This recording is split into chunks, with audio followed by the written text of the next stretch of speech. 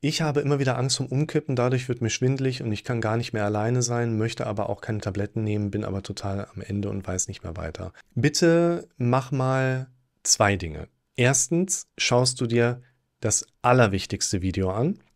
Zweitens schaust du dir bitte das Video an, ich habe Angst, ohnmächtig zu werden. Das ist dieses hier, wo ich wahrscheinlich ziemlich genau deine Situation beschreibe und dir hilfreiche Tipps und Aspekte mitgebe, mit der du dann nachher arbeiten kannst. Und deshalb, dir kann geholfen werden, du kannst dir selber gut helfen. Es wird mehr dahinter stecken als nur, ich habe Angst vom Kuhkippen, es ist schwindlig, ja, aber das ist natürlich so die Eisbergspitze. Und das Wichtigste, das kriegt man auch gut ohne Medikamente hin. Man kriegt es auch gut mit Medikamenten hin, darf sich aber nicht darauf verlassen, dass die Medikamente das alles fixen würden. Das tun sie in der Regel nie auf lange Sicht. Deshalb wenn du diese beiden Sachen dir anschaust, kommst in einen der nächsten Livestreams, schreibst Kommentare, dann bauen wir darauf auf und können damit Sicherheit gut weitergehen.